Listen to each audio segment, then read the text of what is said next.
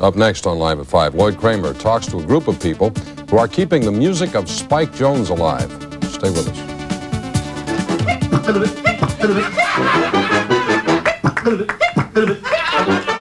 Well, they say you wait long enough, the good stuff comes back. 22 years ago, we lost a master of a special breed of pop music. But Lloyd Kramer has discovered a spot where the sounds live on. Oh, Laura is the face in the misty light. This is Michael's Pub, 55th Street, just east of 3rd. And what you're listening to is the music of one Lindley Armstrong Jones, better known as Spike.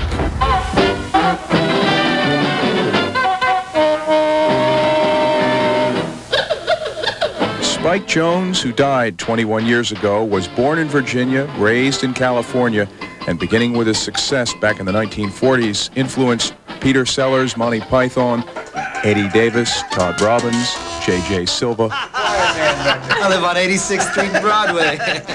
Well, if I had a siren, I'd blow it. What can I tell you? Did any of you ever meet Spike Jones? No, I don't think so.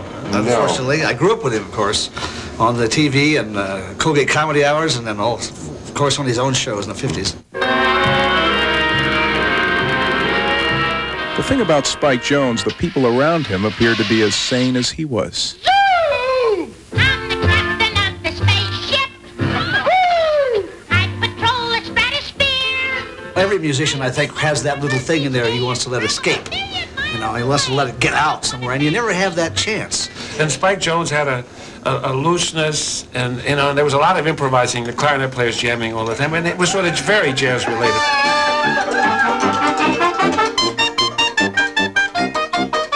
So, with a devotion to Spike Jones, noteworthy both for its authenticity and, shall we say, zest. Members of the New York Jazz Ensemble are like musical missionaries spreading the word.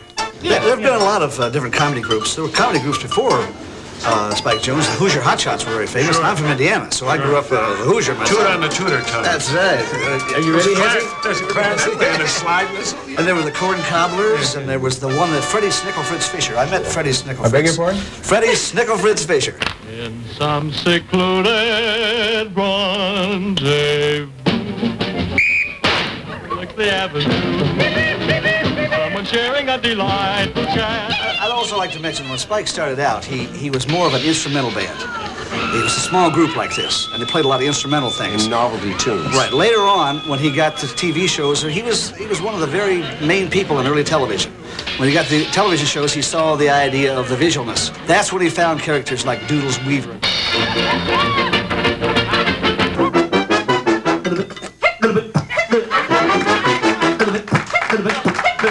The show is open ended, runs Tuesdays through Saturdays. What else is there to recall except nice suits? It's funny, we've listened to all this music and been playing it for a while, and it hasn't bothered any of us. It's, it's, it's been, you know. Not yet. No, it's, it's, it's been uh, a great experience. It hasn't bothered any of us, has it? None.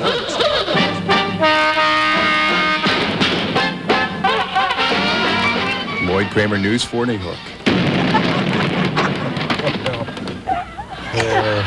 That's music. Yeah, a couple of bricks shy of a load, those people. That's live at 5.